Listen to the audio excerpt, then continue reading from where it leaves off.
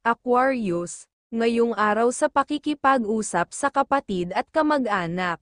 Ngayon ay magandang panahon upang makipag-ugnayan sa iyong mga kapatid o kamag-anak, lalo na kung may mga mahalagang bagay silang nais ipaalam sa iyo.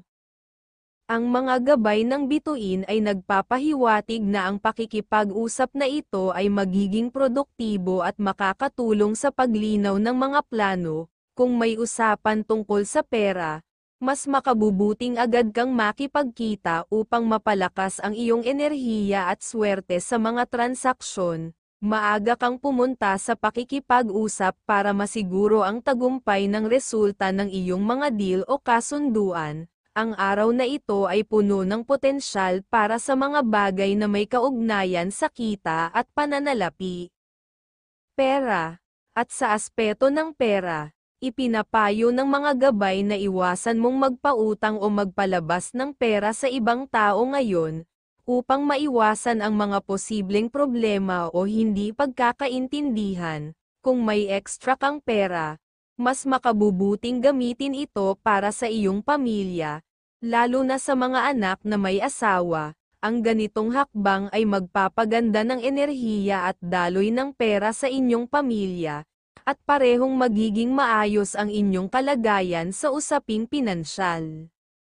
Sa kalagayan naman ng mga anak, sa mga usapang pinansyal ng iyong anak, may magandang enerhiya na nakikita ngayong araw, kung may transaksyon o deal na kailangan nilang asikasuhin, magiging matagumpay ang resulta nito, Basta siguraduhing humingi muna sila ng payo mula sa iyo bago pumasok sa anumang kasunduan, iwasan ang agarang pagpirma sa mga papeles hanggat hindi malinaw ang lahat ng detalye.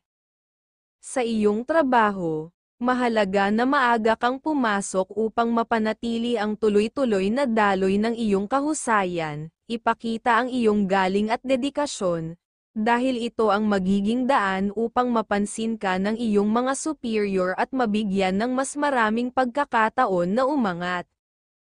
At S. Pag-ibig, sa aspeto ng pag-ibig, maging mapagpasensya at maunawain sa buong araw. Iwasan ang mga salitang maaaring magdala ng negatibong enerhiya sa inyong relasyon. Panatilihin ang magandang komunikasyon upang walang makaapekto sa inyong samahan. Ang pagiging maunawain ay magdadala ng kasiyahan at biyaya sa inyong pagmamahalan, at patuloy na magiging matagumpay ang inyong mga plano para sa kinabukasan, para sa dagdag na swerte.